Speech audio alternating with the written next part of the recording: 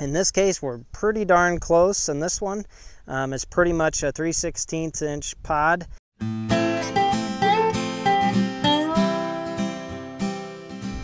Hi, and welcome back to another agronomic update here in north central Iowa. I'm Phil Long, regional agronomist for Liqui-Grow here, and today we're talking about fungicide timing in soybeans. Talk a little bit about the diseases and a little bit of how to hit that window of R3, which is the, the critical time in terms of fungicide and uh, seeing a return on investment. That R3 time frame has been researched a lot uh, to, to be the most important uh, period at, this, at the point in reproduction to, to protect the plant. So I've got a few plants here. We're going to talk through some of these diseases and we're going to start with that staging that's uh, so critical and eludes a lot of uh, a lot of folks uh, because it is challenging. We grow indeterminate soybeans and they keep growing. They're to after R1 they continue to add nodes, uh, add pods and flowers, which is a good thing. We need that because we have shorter season up here. So adding the nodes and pods and flowers and everything after uh, it starts reproduction is, is critical to getting the yields we get. However, it can be a challenge to stage them. So I left the uh, top trifoliate on here because you can see it's not touching. They look like they're closed, but it's the leaves, the edges are not touching. So that's considered the top trifoliate on this plant. So you count down from that one, two, three, four. So there's the top four nodes on this particular plant that I pulled the leaves off so you can see it a little easier. So after R2, we focus on these top four nodes for the rest of the season. Just remember that after R2, uh, it's it's the top four nodes. Top four nodes is probably the most important. R2 is the only time we look at the top two nodes. So what are we looking for? A 3 16 inch pod on one of the top four nodes. In this case, we're pretty darn close in this one.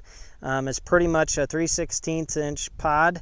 Uh, if you look below that, we have one that's about the size of my, a little bigger than my fingernail. That one's bigger than 3 16 for sure. So we are we are right there. Um, I, I pulled a few plants, but uh, obviously want to check a few. This particular plant here, I have the leaves still on. Uh, you count back one, two, three, four, and uh, it's got a small pod right there as well, uh, but it probably technically wouldn't be quite 3, 316. So we're right on the cusp of basically hitting R3. R3 is about a 10 day window, so keep that in mind. R2, so R1's a couple days, uh, up to five days. R2 uh, is, uh, is about five days or so, and then we hit R3. Our three takes about 10 days, and then uh, we keep on going down the line. But just remember, um, it's kind of a tight window from R1, R2 to R3, and at this point, in most in most areas, we're probably getting close, if not to, if not close to or past uh, the beginning of R3. So many areas may have already started that that R3 stage. So what do we want to look to, for to make sure that we're seeing an ROI on a fungicide out of soybeans?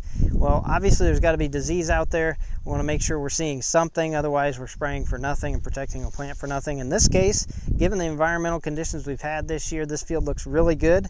Uh, there's very little disease out here. We see a little septoria brown spot. You can see it on this dead senesced leaf here, and these, these bottom leaves have some septoria brown, brown spots setting in.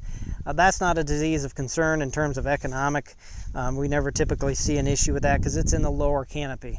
The ones that scare me the most are, are the upper canopy diseases, things like frog eye, uh, frog eye leaf spot, which has uh, circular necrotic uh, lesions with a, a kind of distinguishing brown or, or maroon purplish halo around them. And that one can set in, it can spread very quickly.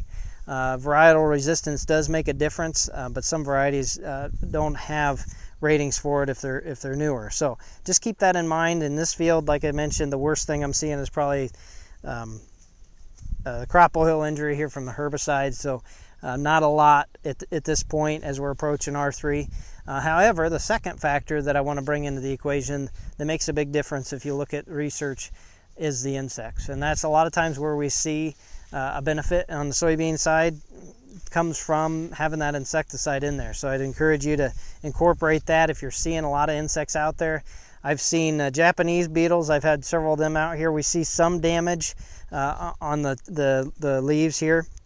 I've also noticed some stink bugs, which can be an issue, but they're probably more so an issue a little later as it develops pods.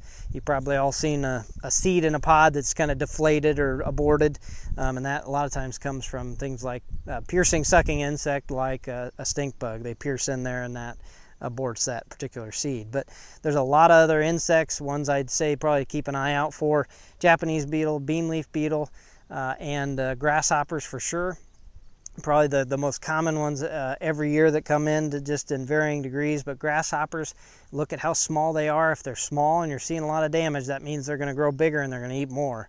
Uh, so you want to make sure that, uh, that you're paying attention to that because typically we see, especially once we approach these mid reproductive stages, we see benefit from that insecticide because of that. We see a lot of damage uh, from certain insects, uh, and that can really boost uh, your, your return on investment in a fungicide insecticide application.